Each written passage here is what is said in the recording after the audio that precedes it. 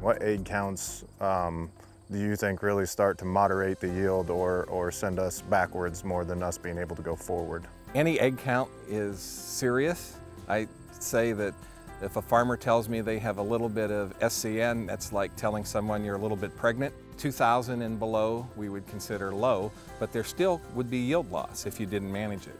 And then from 2,000 to 12,000 is considered moderate, and anything above 12,000 is considered high. The uh, recommendation for above 12,000 is you need to seriously think about not growing soybeans for another year to get those egg counts down. And that's because even the best resistant soybean varieties suffer yield loss when you get to egg counts that are up into the 12 and 15 and 20,000 eggs per half a cup of soil.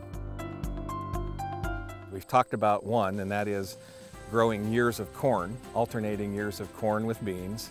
The second one is to grow resistant soybean varieties. And the third option is seed treatments. And we want farmers to use all three of those. The resistant varieties used to be our mainstay of management. They worked wonderfully well. They didn't cost any more for the seed than non-resistant seed. But the problem was that for 25 years, those resistant varieties, virtually all of them had the same resistance genes. That common source of resistance is called PI88788. Now there's an uncommon source of resistance called Peking. Uh, it's in about 5% of the varieties that Iowa farmers could pick from to grow. And in the early days, it yielded less than any variety with PI88788. That's why 95% of the varieties on the market have PI88788.